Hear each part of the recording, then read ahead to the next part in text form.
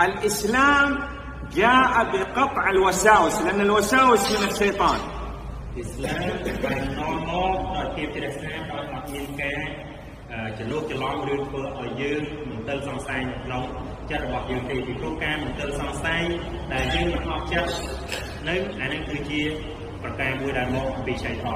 تعبد من أنت؟ تعبد الشيطان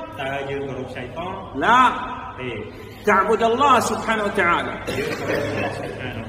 إذا كنت تعبد الله سبحانه وتعالى الأصل أن تقطع الوساوس.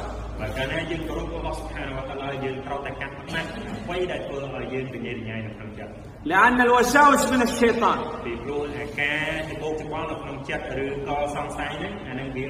يوسوس لك الشيطان في الطهارة. ឆៃតនវាមកធ្វើឲ្យយើងរញ៉េរញ៉ៃមិនអស់ចិត្តនៅពេលដែលយើងកំពុងតែសម្អាតខ្លួន في الصلاة នៅក្នុងសម្បត្តិយ៉ាង في الإيمان في التوحيد នៅក្នុងអ៊ីម៉ាននៅក្នុងតោហេត إذا جاءتك الوساوس في الإيمان في التوحيد في ذات الله اعلم أن الشيطان يريد يفسد عليك هذا الإيمان هذا دليل أن الإيمان هذا إيمان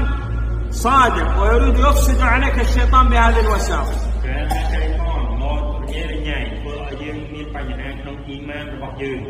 នោះមានន័យថាអ៊ីម៉ានរបស់យើងគឺជាអ៊ីម៉ានពិតប្រាកដអញ្ចឹងហើយអាហ្នឹងគឺឆៃតនវាមកស្រឡាញ់យើងអញ្ចឹងទេយើងត្រូវតែកាត់ផ្នែកវា نعم هذا الشيخ مثلا كبر قال الله أكبر ឧទាហរណ៍ថាឆេខ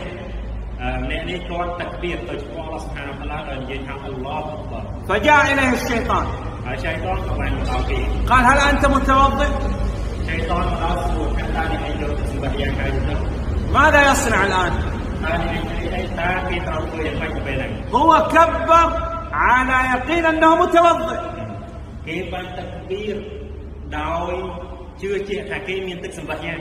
لو بدأ يسترسل يعني يمشي مع هذه الوساوس أو خرج من الصلاة هو آثم បើសិនជាគេមកសម្បត្តិយ៉ាងដោយយទីប៉ុណ្ណឹងហើយតាក់បៀតប៉ុណ្ណឹងហើយហើយគេទៅចេញពីសម្បត្តិយ៉ាងដោយសារតែឆៃតនមកជំនឿគេយើងគឺមានទុសា توضأ وجاء إلى المسجد គេទៅយកទៅសម្បត្តិយ៉ាងហើយគេមកមកជិត